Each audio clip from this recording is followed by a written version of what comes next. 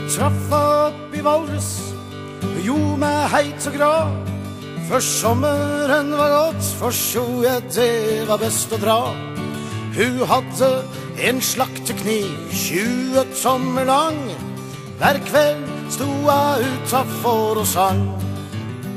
Og hun sang trubben, du skal få både krøtter og gard. Du skal få alt jeg arver fra kontoen til far. Men har du trengt å reise, burde du ha gjort det før.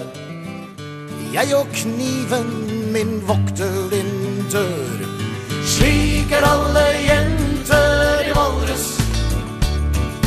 Slik er alle jenter i Valdres. Slik er alle jenter i Valdres. Wow, wow, slik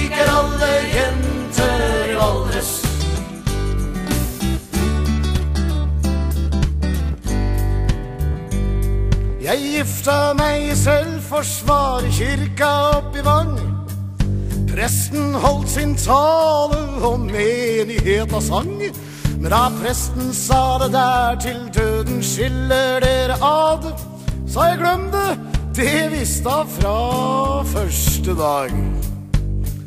Hun sang trubben, du skal få både krøtter og gard.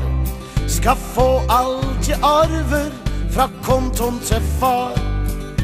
Har du trengt å reise, burde du ha gjort det før. Jeg og kniven min vokter din dør. Slik er alle jenter i Valdres. Slik er alle jenter i Valdres. Slik er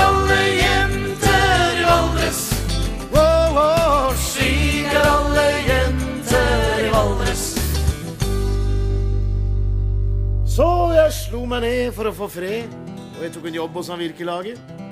Hver fredag kveld når jeg skulle ned og hente en ussel lønn, var det eneste lyspunktet kontordamen.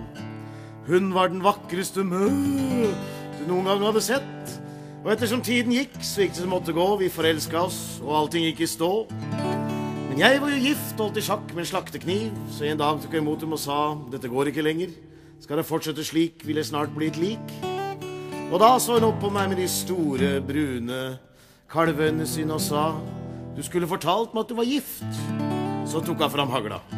Og jeg fikk begge i løpet av midten mellom øra. Jeg har alltid hatt god plass mellom øra. Og lensmannen ble busendt og kom og så meg ligge der og blø, og hun var skyldig og jeg var død. Men hvordan tror du dommen lød?